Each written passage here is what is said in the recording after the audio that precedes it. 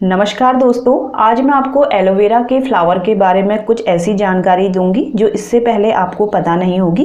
ये देखिए, ये एलोवेरा का फूल है, बहुत ही ज़्यादा खूबसूरत लगता है और ये एक स्टिक से निकलती है और उसमें कई सारे छोटे छोटे ऑरेंज कलर के इसके फूल निकलते हैं।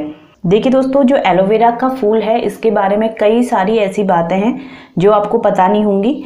एलोवेरा का फूल है, इसके बारे में कुछ अंधविश्वास भी जुड़ा हुआ है मैंने सुना है कुछ लोग कहते हैं कि जो इसका फूल होता है वो चार या पाँच साल में एक बार खिलता है। लेकिन ऐसा नहीं है।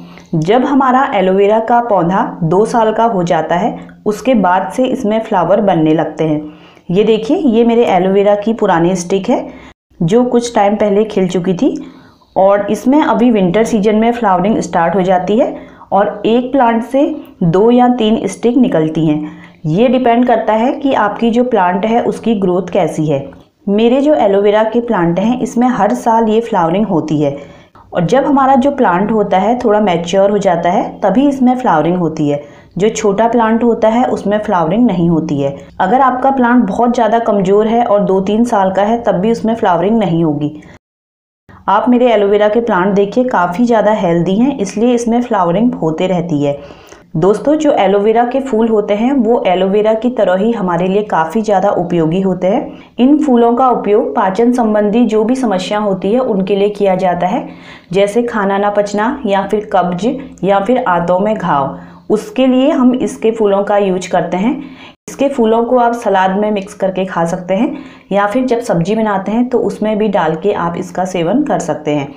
साथ ही दोस्तों, जो इसके फूल होते हैं, इसको आप सरसों के तेल पे पका के, जो जोड़ों का दर्द होता है, घुटनों का दर्द होता है, उसमें भी यूज़ कर सकते हैं। तो उससे भी इसमें बहुत ज़्यादा फ़ायदा मिलता है। देखिए दोस्तों, जो मेरे एलोवेरा के प्लांट हैं, कितने ज़्यादा बड़े हो चुके हैं। ये बहुत ही बड़े हो चुके हैं और जो इनका वेट है, काफ़ी ज़्यादा हो गया है। इसलिए जो ये प्लांट है, बिल्कुल तिरछे तिरछे हो गए हैं। और साथ ही आप इनके फूलों को तोड़ के जो भी आप तेल यूज़ करते हैं, चाहे सरसों का हो या फिर नारियल का हो, उसमें डाल के आप धूप में रख सकते हैं और इससे सिर की मालिश भी कर सकते हैं। दोस्तों, कई लोग एलोवेरा के फूलों को सोने से महँगा बताते हैं। वो सिर्फ़ इसीलिए बताते हैं क्योंकि इनमें काफ़ी ज़्यादा गुण पाए जाते हैं।